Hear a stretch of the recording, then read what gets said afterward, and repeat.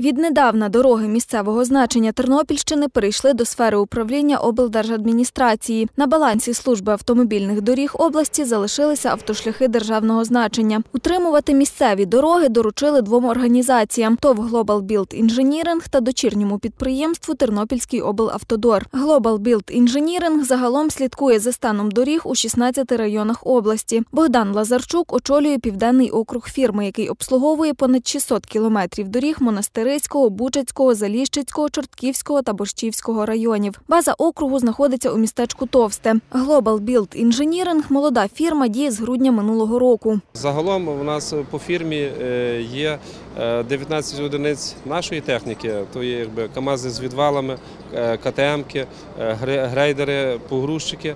Е, Також є е, 45 одиниць е, найманої техніки, які ми наймаємо по районах е, для е, допомоги для підтримки зимового утримання. Є працівники, які працювали е, в автодорі, е, скажімо, в дорожніх службах, яким, скажімо, ну дуже добре знайома ця робота.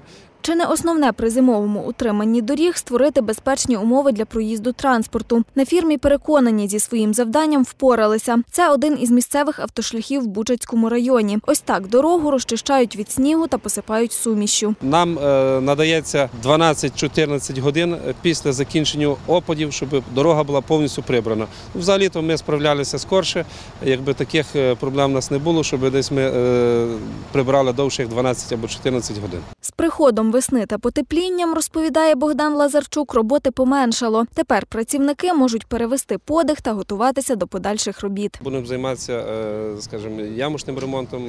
Також будемо займатися десь генеральну вкладку в доріг, чищенням посадок, розмітки, знаків.